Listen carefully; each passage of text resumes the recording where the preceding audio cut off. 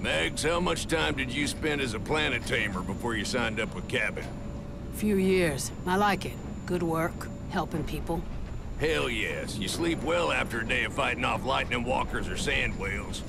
Yeah, you'd think chasing down a six-eyed oracle squid would give you nightmares. But I sleep like a rock now. I see Daisy twitching in her sleep. It's kinda adorable. Yeah, the happier she is, the more she dreams about chasing mammoth birds.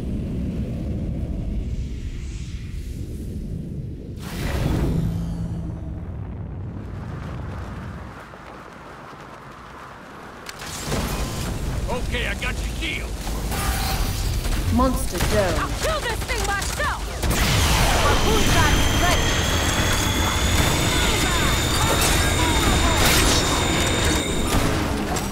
Dome coming down.